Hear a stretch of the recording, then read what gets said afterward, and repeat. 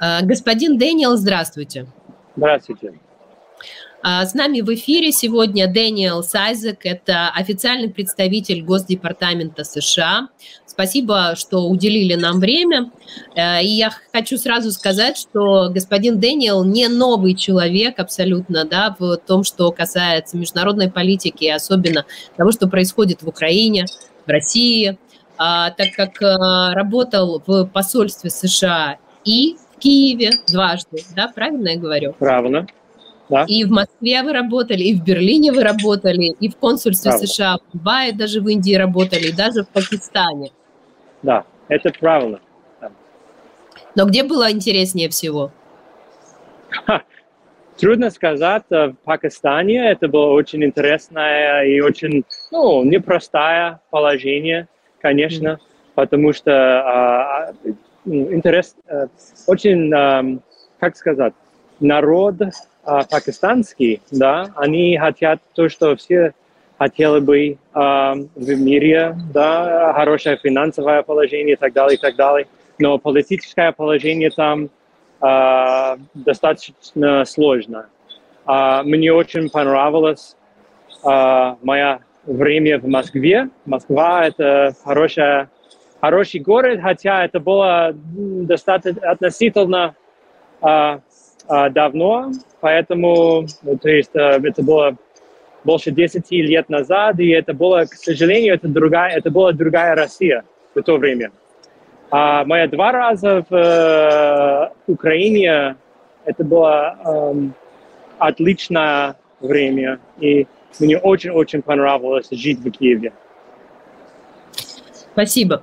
Я хочу сразу же у вас спросить вот то, что сегодня обсуждает весь мир и на первых полосах всех э, западных СМИ, а именно информацию о том, что Алексей Навальный э, умер в колонии в России.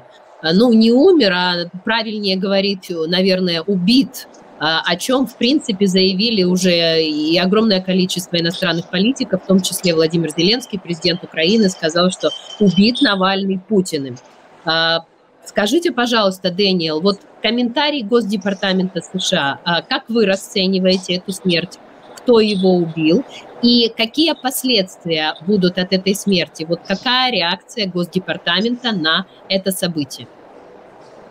Хорошо. Но, во-первых, я хочу э, извиниться, что э, это шумно здесь, потому что, насколько я понимаю, вертолеты прилетели именно сейчас с важными э, деятелями, которые участвуют на конференции в Мюнхене здесь сегодня, э, чтобы ответить на вопрос. Э, если сообщения правдивы, США выражают искренние соболезнования его семье. Российское правительство преследовало его больше 10 лет, отравили его и заключили его в тюрьму. И это было... И это, это показывает на самом деле слабость самой сути российского, российской политической системы. То, что э, считали, что это нужно делать этого, э, этому человеку. Э, и российское правительство несет ответственность за его смерть. Скажите, пожалуйста, вот я сейчас читаю, что сказал Джо Байден в 2021 году, тогда об Алексее Навальном. Он сказал, что а, Россию ждут катастрофические последствия, если Навальный умрет в тюрьме. А сейчас что будет ждать Россию непосредственно Путина за эту смерть? Потому что вот я ссылаюсь непосредственно на президента Америки. Да, я я бы сказал, что эм, глобальное общество и, да, и даже русский, российский народ э, э, в России понимают, э, что произошло или э, скоро поймет, и что это, не это, это может только показывать слабость системы, которую Кремль построил, э, политическую систему в России, что эм, что считали, что нужно было сделать это, и поэтому это, и это тоже, на мой взгляд, показывает европейцам и всем в мире, что это именно за система политическая в России, и это может только um, показывать слабость этой системы и Кремля. И в этом смысле последствия есть большие. А, ну вот а какого рода они могут быть? То есть США будет настаивать на том, чтобы э, усилить санкции, либо США вот со своей стороны усилить санкционную политику, а либо же по отношению к диктатору Владимиру Путину будут предприняты какие-то действия? Но э, пока я не могу комментировать конкретные шаги, которые правительство США собирается сделать, потому что это очень-очень новое, свежее сообщение э, по, этому, по этому поводу. Но э, надо, должно ожидаться э, достаточно сильный ответ. Окей. Mm-hmm. Okay. Спасибо. А, господин Дэниел, вот я хочу перейти к основной теме нашего сегодняшнего разговора, а именно о войне в Украине, о войне, которую Россия, фашистская Россия ведет против Украины уже 10 лет фактически. И, собственно говоря, а, вот сегодня мы постоянно следим за новостями из США, чтобы понять, будет, будет или нет проголосована помощь от США Украине помощь, которая позволяет Украине бороться с Россией. А, сегодня мы видели, что Палата представителей США ушла на каникулы, не рассмотрев законопроект о помощи, где речь идет о 60 с лишним миллиардов долларов для Украины. А, я так понимаю, как реакция Джо Байден, президент Америки, в своем Инстаграм опубликовал очень красноречивую фотографию, где изображен он, его жена и президент Зеленский тоже с супругой, где Байден вот так по-дружески обнимает сзади президента Зеленского. И Джо Байден подписал это фото а, и предупредил о том, что неспособность поддержать в Украину в это критическое время никогда а, не будет забыта. Скажите, пожалуйста, помощь Украине Америка одобрит, будет она или нет? Ну, а, вопрос о дополнительной помощи Украине очень активно обсуждается в Конгрессе. А, уже, мы уже видели важный шаг вперед, когда американский Сенат одобрил новый пакет помощи Украине несколько дней назад. И что это показывает, и что эм, общеизвестно, это что двухпартийная поддержка Украины сохраняется в Конгрессе. Тоже стоит отметить, что большинство американцев поддерживает э, дополнительной помощи э, Украине. А, да, есть временная задержка, и лучше бы без задержки, честно говоря. А, и президент Байден уже не раз говорил об этом. А, но дело в том, что у нас в США есть демократическая система, и это демократический процесс. Каждая каждая имеет право выражать свои взгляды. А иногда процесс не быстрый. А президент Байден и его команда прекрасно понимают, какое положение в данный момент в Украине на линии фронта, на поле боя. И поэтому э, президент Байден еще раз э, подчеркнул что Конгресс должен а, при, принять решение именно сейчас. Я не могу дать особенный срок сегодня, um, потому что это невозможно точно предсказать, что произойдет в будущем. А президент Байден и его команда ожидают, ожидают того, что в конечном итоге Конгресс одобрит новый пакет, а, новый пакет помощи Украине. А, скажите, пожалуйста, вот э, нашумевшее интервью, которое Путин дал Такеру Карлсону, американскому журналисту, а, где Путин дал э, несколько месседжей миру, в том числе а, месседж, который после интервью уже Такер Карлсон сам еще раз озвучил для того, чтобы вот если кто-то не понял с первого раза, то вот еще раз обратили внимание, что, мол, Путин в этом интервью обращается к Западу и говорит еще раз, что, мол, готов к переговорам. А, и более того, Такер Карлсон сказал, что не просто готов к переговорам, а готов к большим, как он, по-моему, сказал, большим компромиссам а, по переговорам. Скажите, пожалуйста, лично вы смотрели ли это интервью? А, что вы из него подчеркнете, что там для вас было важным, что вы вынесете? И как вы относитесь к этой теме, которую Путин пытается протолкнуть сейчас? Зачем он это делает по поводу переговоров а, с Украиной компромисса? Что для него этот компромисс? За мной Майдан. За мной Крещатик, главная улица Киева, столицы независимой Украины, которая воюет за свободу с путинской фашистской Россией. Все самые свежие новости Украины и мира. А еще профессионализм, патриотизм и совесть. Телеграм-канал Дмитрий Гордон. Вы еще не с нами? Немедленно подпишитесь и будете знать все.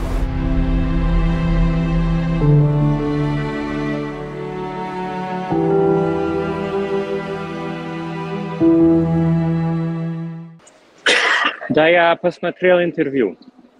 Ничего нового не было это для меня интервью подчеркнул, что эм, вот эти идеи, что должно слышать от российского правительства, что у них есть а, точка зрения, и если мы просто знали их, их точка, точку зрения, а, возможно, лучше или больше понимать, зачем а, Кремль а, решил сделать а, полномасштабного вторжения в Украину. И решил начать нелегальную войну агрессии в Украине, я там ничего нового не видел. Я думаю, что главное для меня это было, что э, просто там ничего, чтобы, чтобы объяснить, почему это было сделано да, а, или оправдать, лучше сказать, почему это было сделано. А, по поводу того, что было сказано по поводу переговоров, переговоров а, во-первых, это, это должно быть решение украинского, украинского правительства, если и когда провести переговоры с российским правительством, во-первых. А, во-вторых, в данный момент нет никаких признаков, что правительство, а, что российское правительство а, хочет провести настоящие переговоры, серьезные переговоры. Нет признаков этого. А, ясно, что российское правительство хочет, чтобы Украина просто сдалась и это неприемлемо. Поэтому, честно говоря, я мало что видел в интервью, в, в этом интервью, который эм, стоит об, даже обсудить. Идем дальше. Путин назвал на днях Джо Байдена более предпочтительным для России президентом США, чем Дональд Трамп. Скажите, пожалуйста, почему Путин так сказал и какой на это высказывание Путина комментарий будет от Госдепартамента? Я не могу комментировать э, действия или даже мысли или мнения лидера другого государства. Я думаю, что у многих есть э, мнение или взгляды о том, что было сказано и что это обозначает.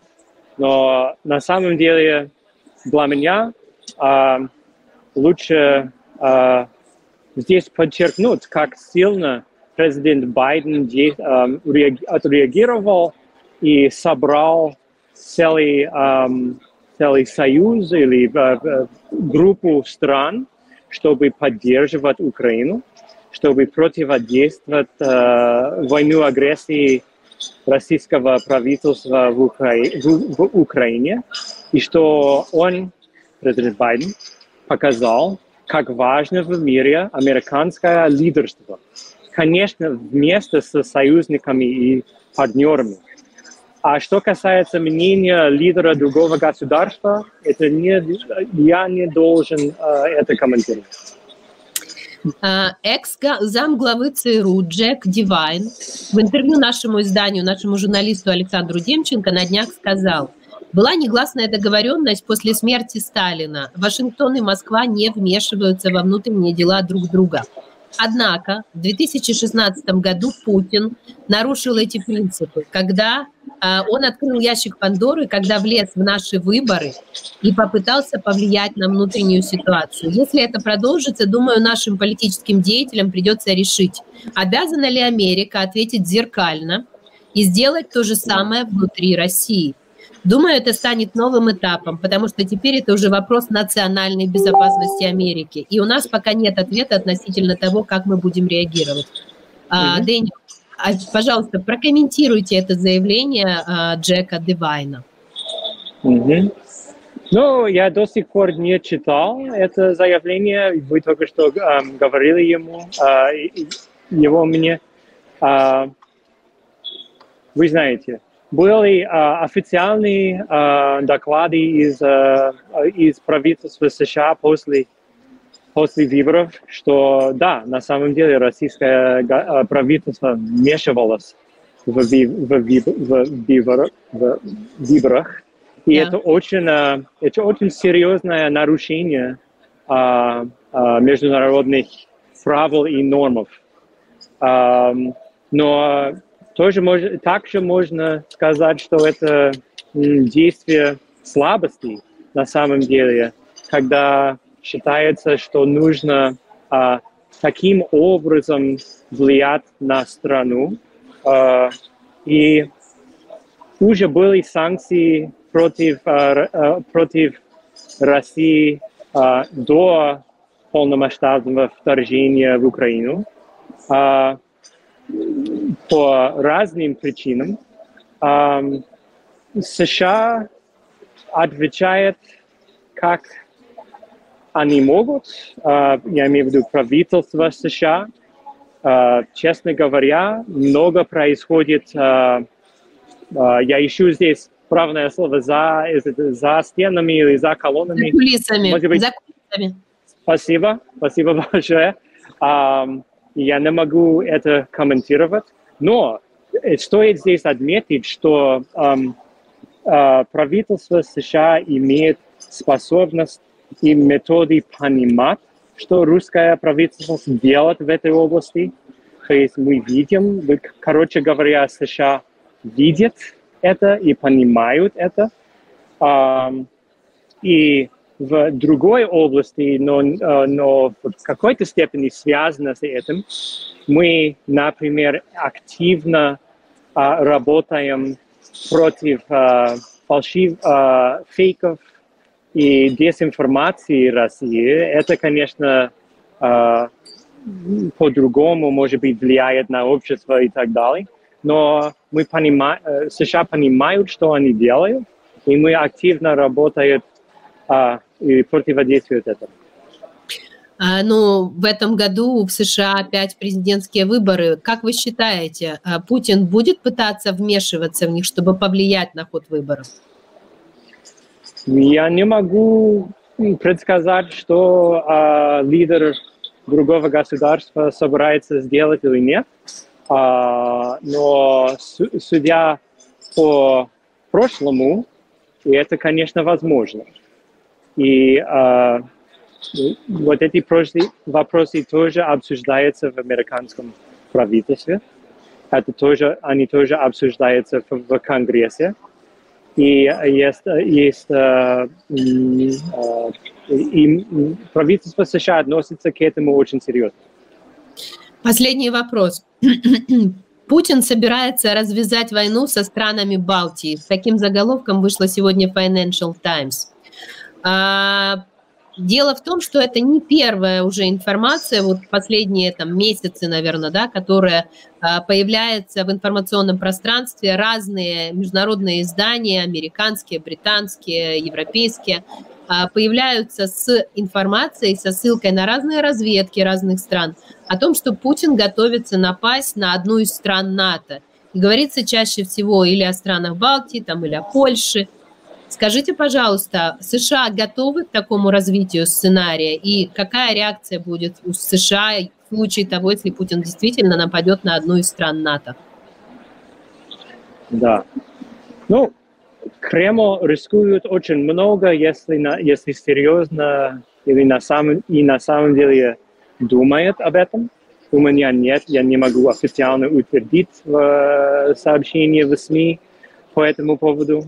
А, но что, что мы знаем, что конкретно знаем на, в данный момент, что а, страны, Бал, Бал, балтические страны являются членами НАТО, и что НАТО, США и НАТО, и все члены НАТО относятся очень серьезно и очень uh, сильно к альянсу и к гарантиям или к гар гарантию безопасности, и что НАТО, НАТО и США готовы отреагировать на любую угрозу любому члену НАТО.